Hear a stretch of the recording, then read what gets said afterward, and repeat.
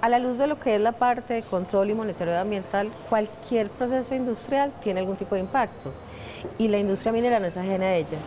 Lo principal es partir de tomar mediciones de cómo está todo lo que tiene que ver con el entorno, la parte de la calidad de agua, la parte de la calidad del aire, la parte del suelo. Pero lo principal para poder tomar medidas o acciones correctivas cuando esto se nos está desbordando es saber cómo está. Entonces, el ya tener una empresa como Continental Gold en su proyecto Uritica, de estar monitoreando esas variables, cómo está siendo su actividad minera en esos elementos, le permite a la empresa pues establecer estrategias, desarrollar proyectos, poder tomar acciones que permitan minimizar y controlar esos impactos que inevitablemente se tienen que generar. Entonces, partir de empezar a tomar medidas me parece que es una cosa que ya va marcando precedentes porque, hombre, la actividad minera eh, hay que seguirla haciendo.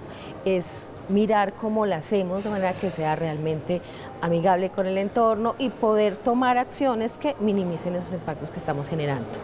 Y desde el punto de vista académico. Desde el punto de vista académico me parece que tiene mucho potencial. ¿Por qué? Porque es realmente empezar a decir, si hay un impacto ambiental generado por la actividad minera, en qué nivel está, cómo está.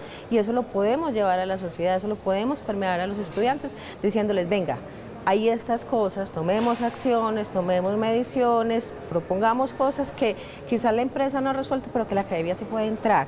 Y insisto, lo principal es tener como punto de partida cómo estamos. Y si lo estoy midiendo y sé cómo estoy, puedo desarrollar proyectos que realmente entren a minimizar, entren a controlar, entren a generar impactos positivos de ese proceso que estamos haciendo.